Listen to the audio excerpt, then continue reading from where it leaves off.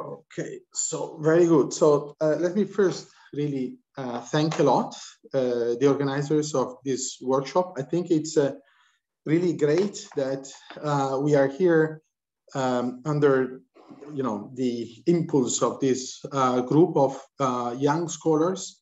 And I would also like to emphasize um, the interdisciplinary nature of, of this workshop, which I think it's a very important element and i will come back on this because i think it's something that we should really emphasize in uh, uh, as a uh, relevant development of, our, of uh, our research on, on the topic in the agenda today for today so um, uh, so here I will be focusing uh, mostly on pricing algorithms.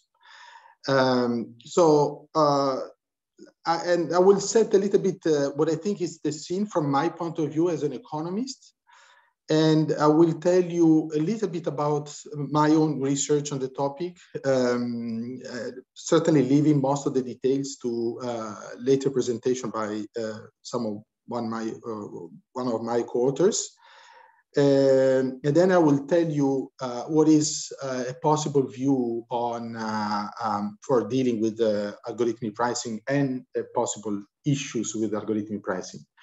So first point is uh, just an observation that algorithms um, used for pricing are already there, already in our markets both in, in terms of um, expert systems and more advanced autonomous pricing algorithms. Here, what you see uh, uh, is just an example of um, algorithms uh, setting the price of commodities in, uh, in uh, Amazon Marketplace.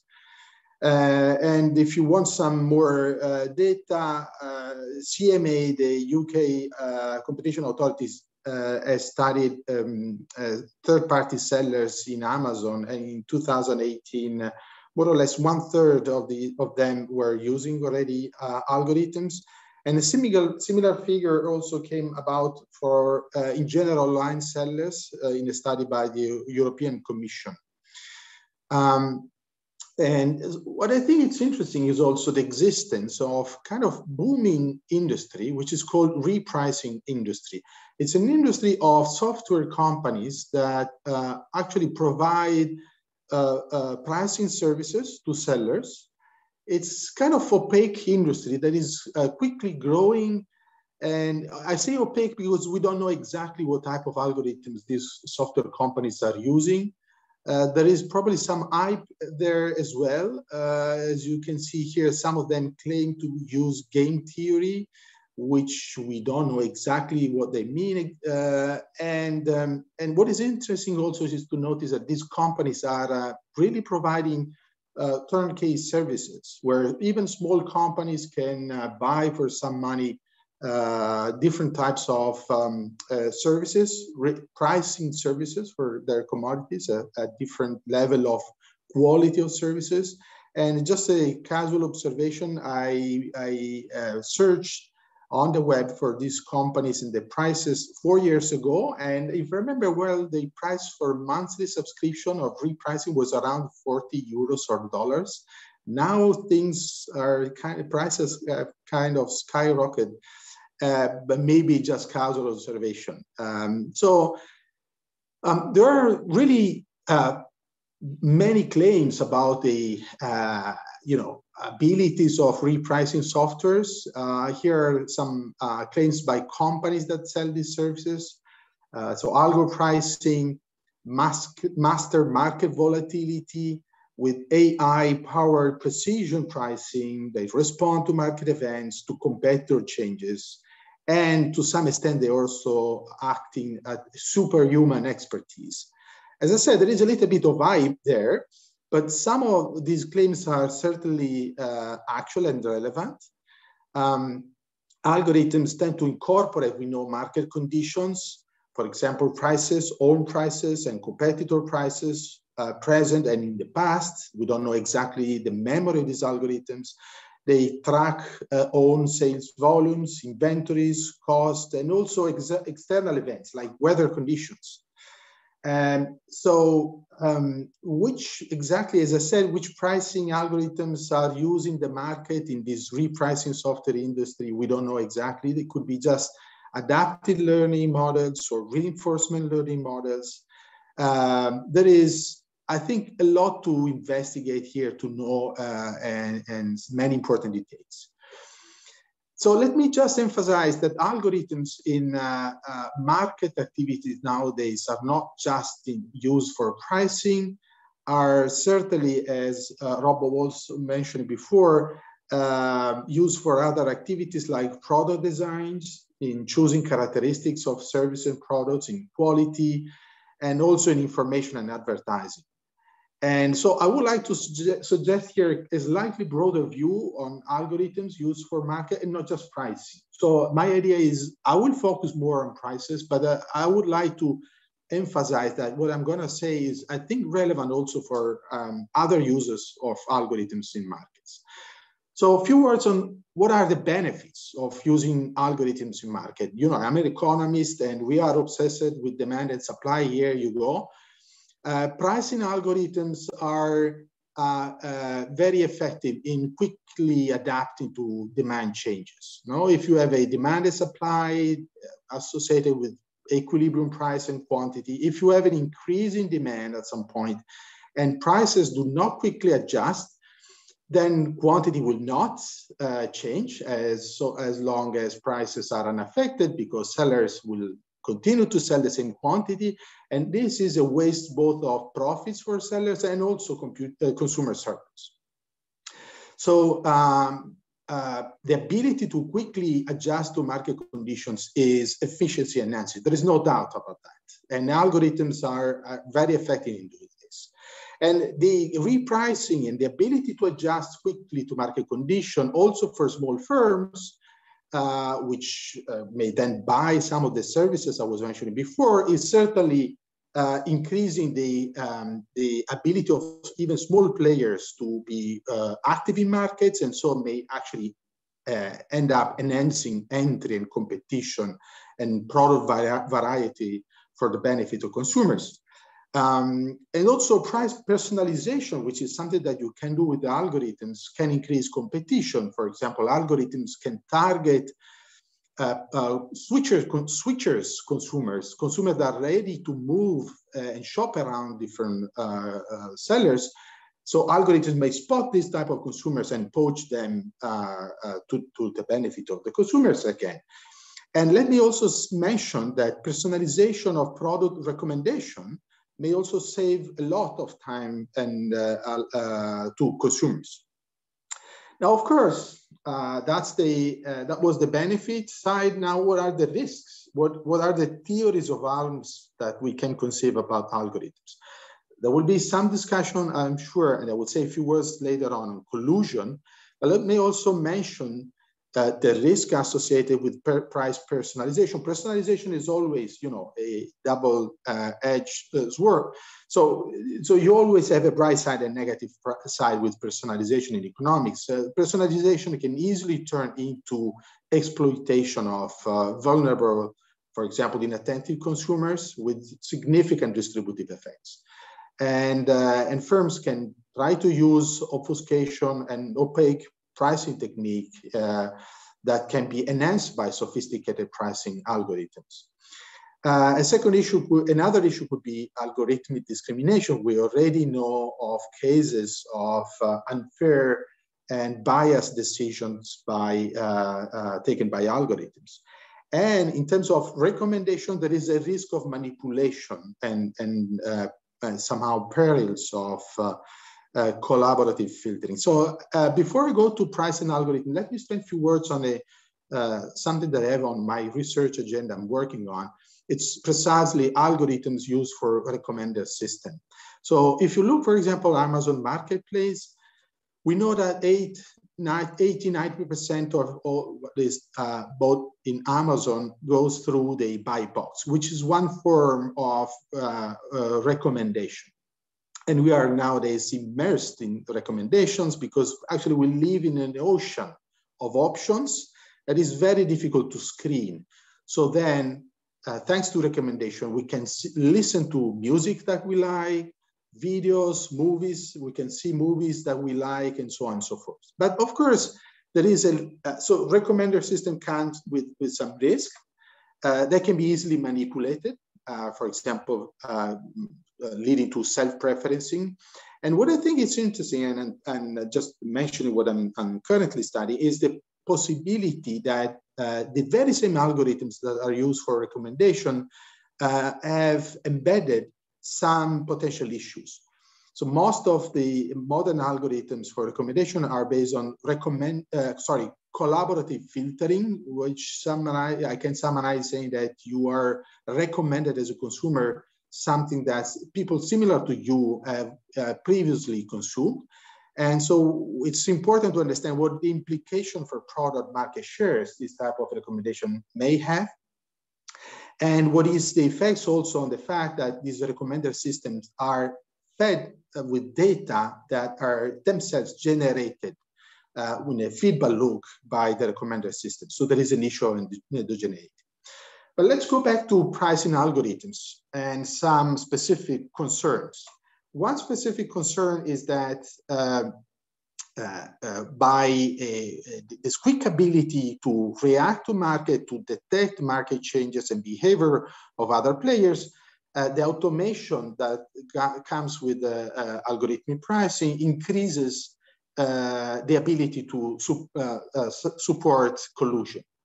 And, and second concern is that if firms are using the algorithms that are provided by the same companies, the repricing software companies I was mentioning before, then you have a common intermediary that can, uh, you know, behave like a hub and spoke model facilitating collusion. And the last point, uh, which is the subject of uh, my own research, is the possibility that algorithms actually learn autonomously if they're not designed to do so, they learn to collude and actually learn uh, to uh, punish competitors' uh, price deviations. Um, so instead of, as I said, going into the details of uh, tacit collusion and my own research, Emilio Calvano will discuss a little bit later on in the, in the day, let me mention uh, the difficulties that we ha may have facing empirical analysis on algorithmic tacit collusion. So here the challenges for this type of empirical analysis, there are very few papers, uh, actually just one uh, significant papers, I would say a few words, few words in, in a moment. The challenges are that first you have to properly identify the adoption by, by sellers of algorithms, which is typically something not publicly observed.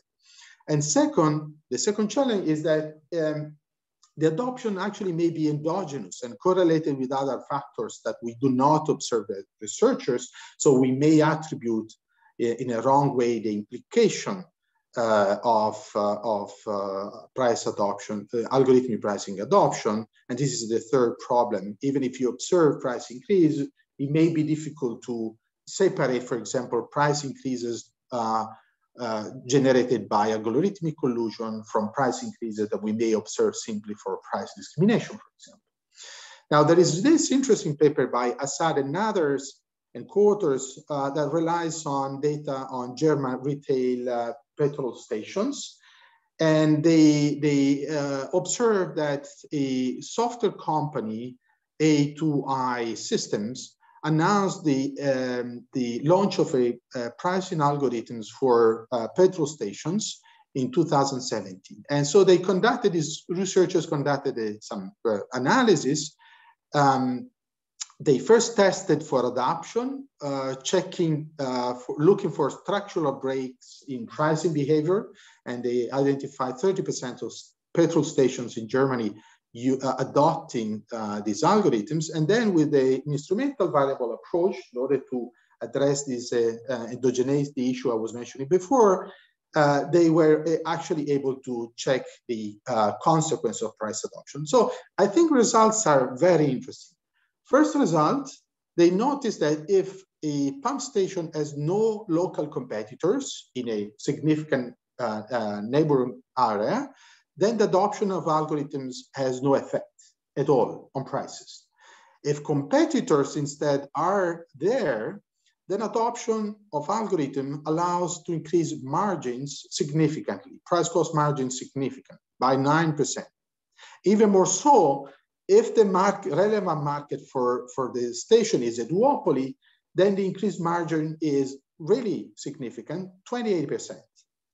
And what is interesting is that margins, when margins increase, they don't increase immediately. It takes more or less one year. So it takes time, in a sense, to for the algorithms to be able to elaborate the data they collect and then uh, take this decision, which in the case of competitors, as I was mentioned before, is price increase.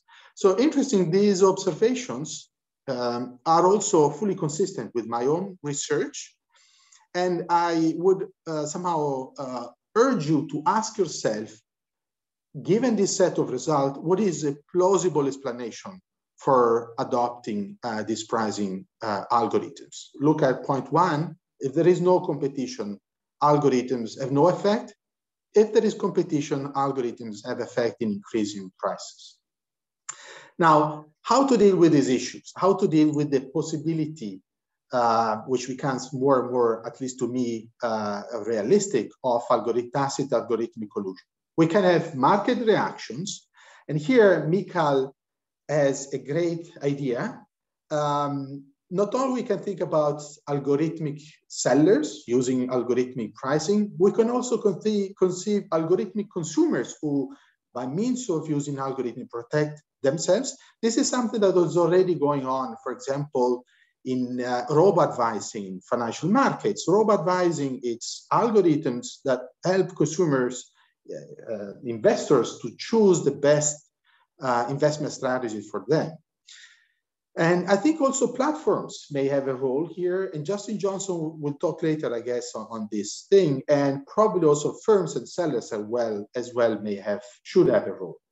Now, let me now go a little bit out of my uh, area and invade a little bit the area of law scholars.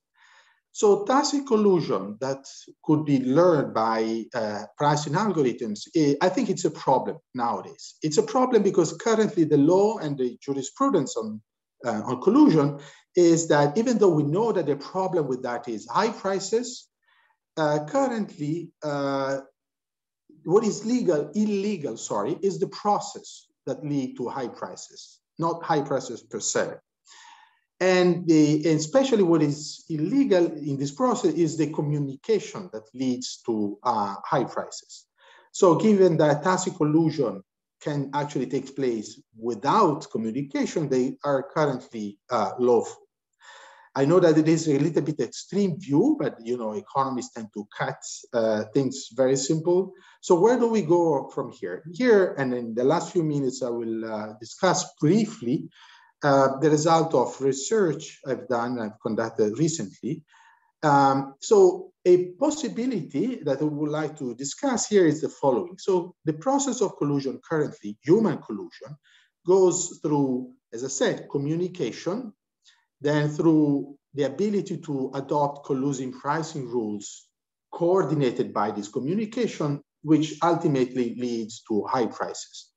Now, the difficulty here is that uh, the collusive pricing rules are non-discoverable. You cannot ask a manager, tell me what's your pricing strategy.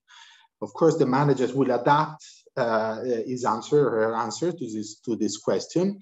We also know that uh, prices, even though they are observable, they are difficult to assess and to evaluate because there is always a way to justify as high prices in terms, for example, of uh, high costs. So that's why, this is my interpretation, why uh, the current status on collusion is that we have focused on communication. Communication is discoverable, and if you find communication uh, uh, between firms leading to collusion, then this is what is meant to be illegal. Now, with algorithmic collusion, the problem is that communication is not necessary. So with my research, I've shown that algorithms may be able to lend uh, to collusion without communication. But the novelty here, and I think this is key, is that latent uh, uh, pricing rules are discoverable. This is the Achilles heel, if you want, um, of algorithmic collusion. Uh, so we, and then the idea here is to go from a communication approach for uh, feed, um, uh, um, dealing with algorithmic collusion to a rule of conduct uh, approach. So there can be an exact uh, way to implement this analysis. That is, you can vet and uh, check algorithms before they are deployed in the market. I think this really not viable because it's a formidable task computer scientists are very uh, uh, articulated and original in offering every day, more or less, new algorithms and with many variants. But what I think it's important here is that we can think about a consent, uh, sorry, a census of algorithms, which I think would be very useful and doable. So sellers, for example, may announce that they're using publicly, they announce that they're using pricing algorithms. And possibly they may also announce to authorities what type or what class of algorithms are using. This is already, by the way, in place in, uh, for example, in Europe for financial markets. And the ex post approach instead, I think probably is more promising, is, is based on the idea when we observe sorry, suspicious events like price changes or price behavior, we can uh, ask firms to show us what type of algorithms and uh, actually audit uh, algorithms, for example, in virtual markets, and check for what I said, rule of conduct. Rule of conduct may, may allow us to check, for example, the presence of price matching rules, uh, and price uh, ability to engage in price war, wars and, and punishments in presence of uh, deviation. So behavior that is inconsistent with competitive pricing. I understand that this is a tricky point, but I think economists and, and law scholars may really be very useful here in digging more than what we did so far on checking what we can conceive as inconsistent behavior respect to, uh, respect to competitive pricing. And by the way, this checking ability should also uh, could also be delegated and uh, become a responsibility of firms that are actually using uh, uh, algorithms. And let me conclude then with just few ideas that I uh, discovered. I think were quite interesting, coming from uh, the computer science academic literature. One idea is explainability. You know that algorithms uh, powered by artificial intelligence may easily become very um, difficult to understand, to, so they easily become black boxes. So computer scientists have started to think about the possibility to impose explainability and interpretability. And there are two approaches. One approach is an, uh, uh, uh, having artificial intelligence algorithms that are transparent by design. And there is a post hoc explainability condition, which essentially requires that ex post we are able to convert the behavior of complicated algorithms in order to be interpretable. So what is the best approach for market algorithms? I think that there is an, an interesting uh, uh, mm, research to go here. And the last point is on fairness computer scientists have started to think how to embed fairness in artificial intelligence algorithms. We know that algorithms can be unfair. We already have cases, uh, uh, observed cases about unfairness in algorithms.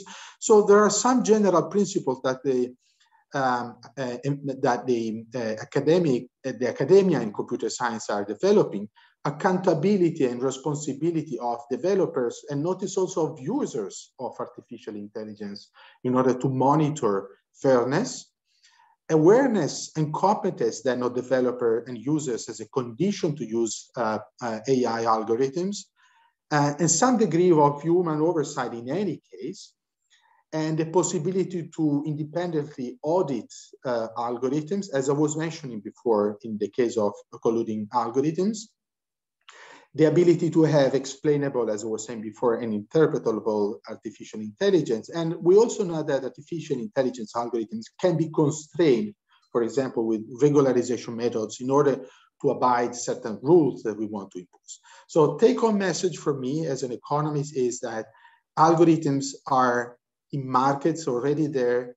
And I think it's a fascinating and urgent research agenda for computer scientists, economists, and legal scholars, this is truly interdisciplinary research in the sense that I sure I am sure that none of these groups independently will have the tools and the ability to address these issues. And, and stop here, and I'm sorry for being a little bit over, over time. Thank you.